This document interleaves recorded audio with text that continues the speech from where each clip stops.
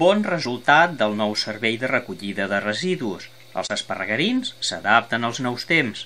Des del passat dilluns 2 de novembre del 2015, l'Ajuntament d'Esparreguera ha instal·lat un nou servei d'11 nous punts de recollida d'escombraries dins del casc urbà d'Esparreguera.